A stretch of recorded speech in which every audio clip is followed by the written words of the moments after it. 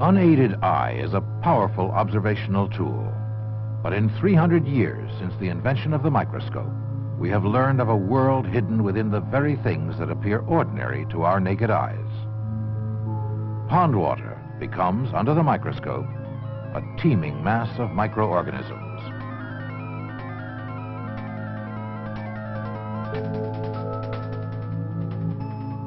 The substance, blood, appears to be a uniform red liquid. It is, in fact, a clear fluid filled with tiny cells. All living things, when enlarged, show new levels of structure, from leaf to cells to the tiny living particles they contain.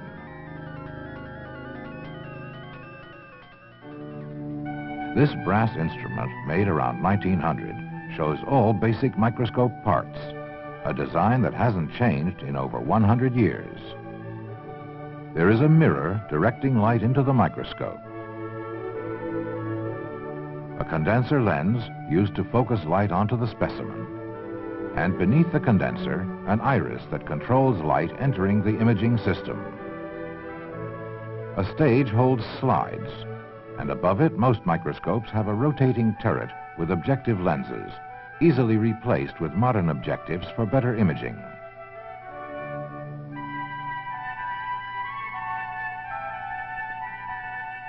Coarse and fine adjustments smoothly vary distance between objective and slide, for this is how a microscope is focused. An eyepiece lens further magnifies the image beamed up from the objective and brings it to focus on the retina of a human eye. What microscope lenses do, in effect, is to optically move your eye right up to the slide. Of course, if you actually try this, you can't see microorganisms clearly because your eye's lens is unable to curve enough to focus at such close range. A tiny fish, by comparison, has great lens curvature. Through a minnow's eye, microorganisms look like this.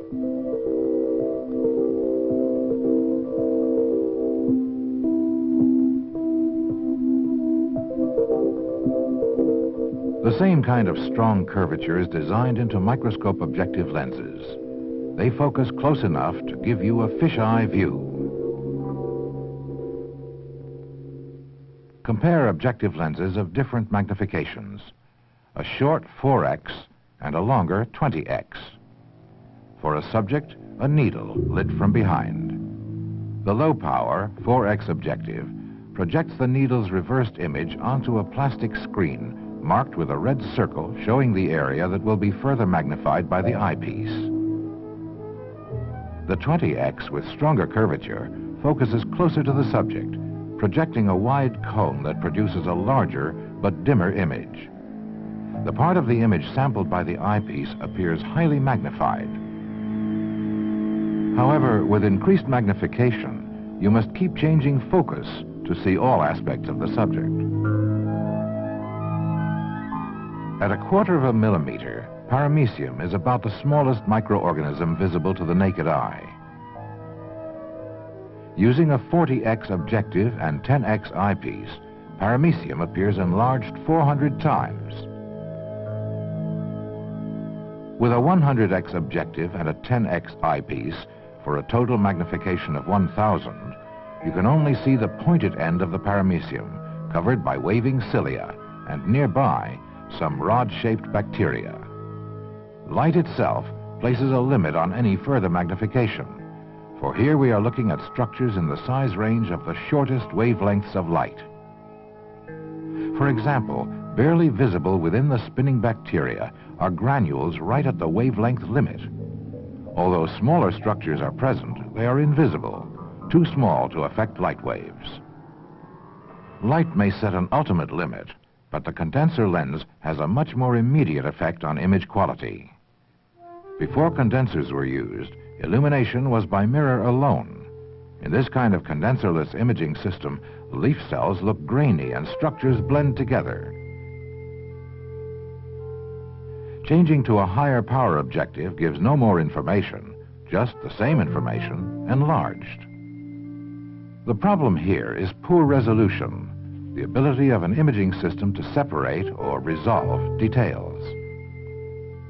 Focusing light onto the leaf with a condenser improves resolution.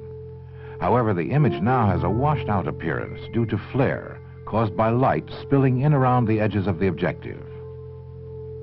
Eliminating flare is the purpose of an iris that shapes the cone of light focused up from the condenser so that it just fills the lens. Looking in the microscope, flare vanishes as the field just begins to darken, producing a high-resolution flare-free image. The plant's food-making bodies, resembling green jelly beans, now show up clearly. When the iris is used to cut out flare, contrast, how the subject stands out against its background, improves. Further closing of the iris produces more contrast, but at the expense of resolution. This relationship between contrast and resolution, controlled by the iris, gives you some choices when viewing clear, unstained specimens. A case in point, living in a lake near our laboratory are organisms that are so transparent they are virtually invisible under normal bright field illumination. These strange creatures could only be seen by closing the iris beyond the normal amount in order to gain enough contrast to make structures like the eye and heart observable.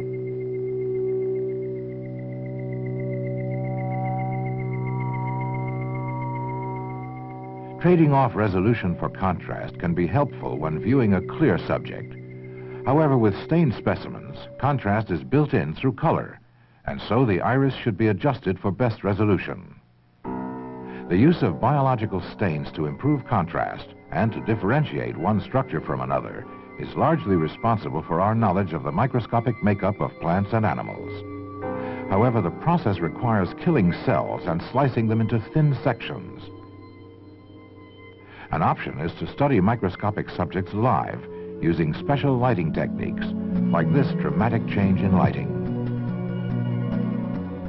It's a technique called dark field illumination. In its simplest form, dark field is produced by blocking light from the objective lens with a black paper disc.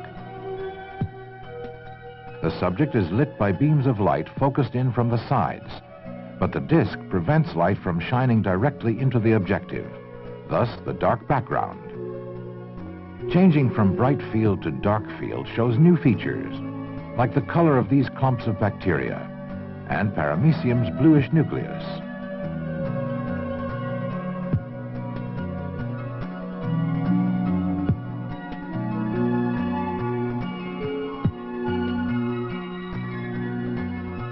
Many subjects are more interesting to look at in dark field. It is as though you had shrunk to their size, examining them in their own hidden world.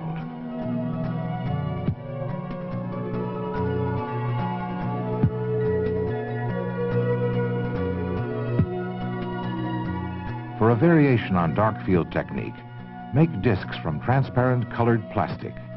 Now subjects appear against a colored background again lit by rays focused in from the sides.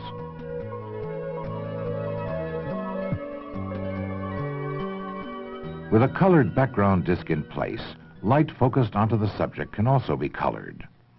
We tried this in order to see the faces of salt crystals, and what began as a way to get information from our crystals turned into a microscopic light show. As crystals began to dissolve and recrystallize, their newly formed faces made visible in reds and greens.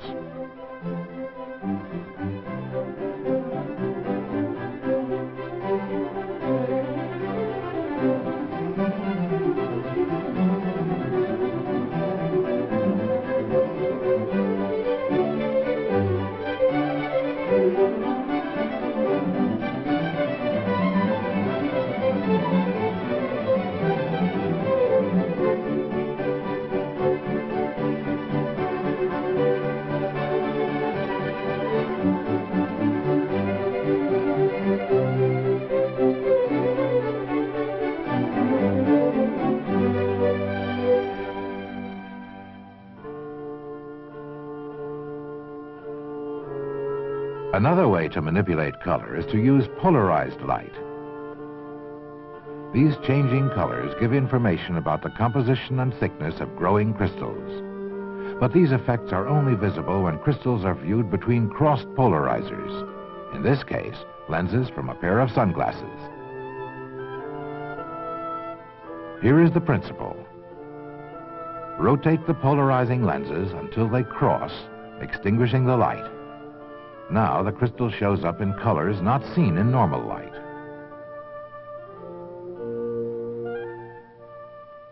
Fit your microscope with polarizers and explore a world of light and color.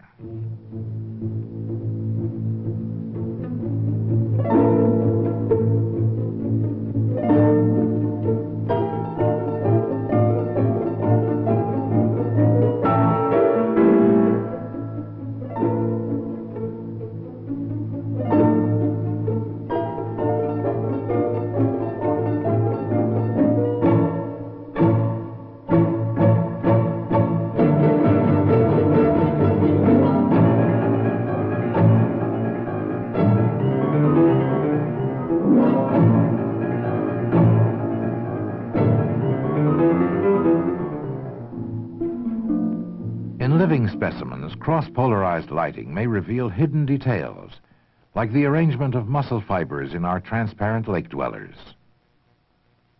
Or crystals within a living paramecium, features virtually undetectable under normal bright field illumination. These simple but powerful techniques provide a wealth of information. But to further explore cells and tissues, biologists require special microscopes. The two main kinds are the phase contrast microscope and the differential interference microscope. Both use complicated manipulations of light to produce their revealing images. In phase contrast lighting, clear structures stand out without sacrificing resolution. This kind of revealing image, showing living processes in action, is what makes phase contrast such a valuable imaging tool.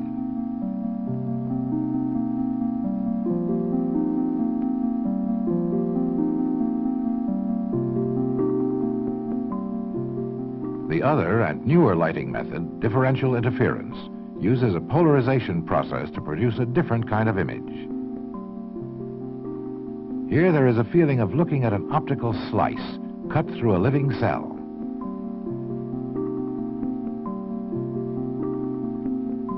A researcher may need to use all of these forms of lighting to interpret the hidden world. For example, consider euglena, a primitive one-celled organism. Under normal bright field lighting, Euglena's green chloroplasts and red eye spots show up. Dark field emphasizes Euglena's cell wall. Phase contrast shows the whip-like flagellum, an important structure often difficult to see in normal bright field. Differential interference gives a different impression of the flagellum and shows further details of the cell. These techniques complement each other. No one method of lighting tells the whole story. Or as Robert Hooke, one of the first biologists to explore the hidden world, wrote over 300 years ago, I can never describe the specimen accurately without first observing it in several lights, in different positions to these lights. Only in this way have I been able to discover its true form.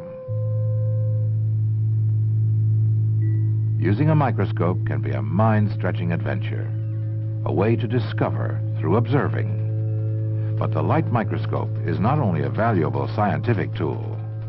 Used with skill, it becomes a window into an amazing hidden world.